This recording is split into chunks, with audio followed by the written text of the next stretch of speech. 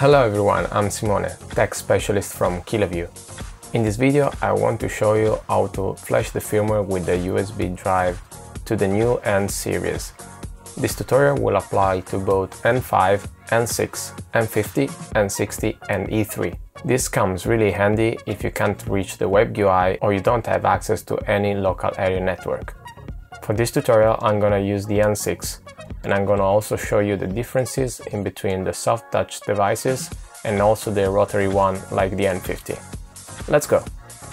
First thing we have to do is to download the firmware for our encode decode unit.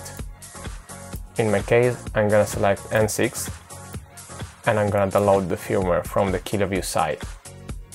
Once we have done it, let's format the USB drive into FAT32.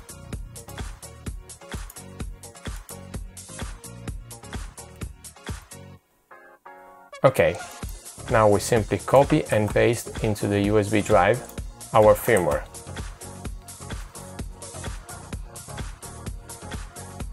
Now safely remove the USB drive from the computer and let's see how to perform this task on the hardware unit.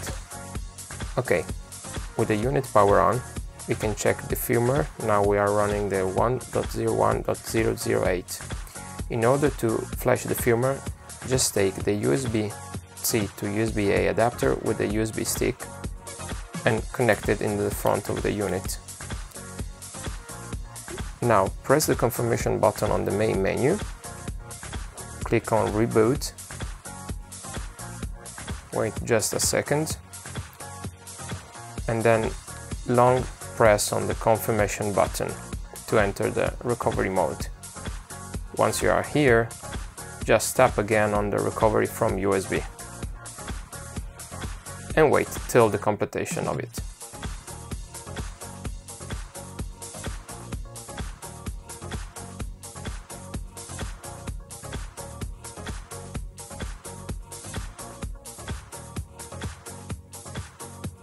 Alright, firmware updated successfully.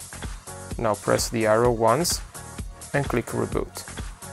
Now we can remove the USB-C and wait to the completion of the boot.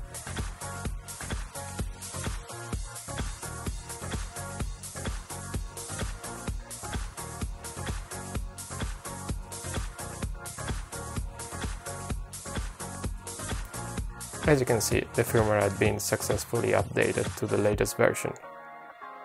Let's see now the differences with the rotary encoder ones, like the N50. Just plug the Ethernet cable to power the device, plug the USB stick, or just simply use the TF card in the back. Power on the device and wait to the KiloView logo to appear. And press and hold the rotary knob.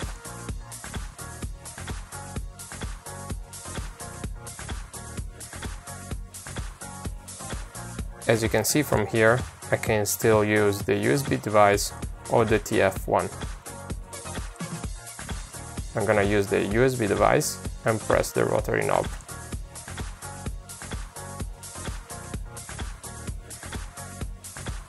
Wait till the completion of it. You see, firmware update successfully. Press the rotary knob once and press reboot you can safely eject the USB drive and wait the device to boot again. We have successfully also updated the N50. I hope you liked this video and stay tuned for more to come. You can always reach us at www.kiloview.com or for any technical support, send us an email to support at. See you in the next one.